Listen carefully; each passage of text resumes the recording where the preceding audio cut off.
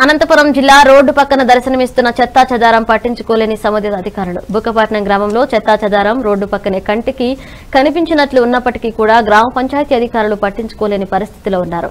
ఇందులో భాగంగా గ్రామ పంచాయతీ కార్యాలయంలో చెత్త తరలించే వాహనాలు మొత్తం పది ఉండగా పనిచేస్తున్నవి మూడు వాహనాలు మాత్రమే పనిచేస్తున్నాయి. ఇంకా ఏడు వాహనాలను ఎందుకు మూలకి వద- పడేశారు? వాహనాలు తుప్పు పట్టిపోతున్నప్పటికీ పట్టించుకోలేని పరిస్థితి వచ్చింది.